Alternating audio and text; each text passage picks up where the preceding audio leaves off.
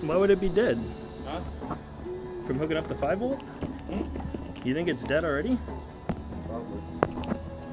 Is that VTX good? Because we didn't fuck up any of those solders at all. I have the same flight controller right here. I have the same fucking flight controller right here. And I run 5 volt off it all day. Like VTX camera and Crossfire.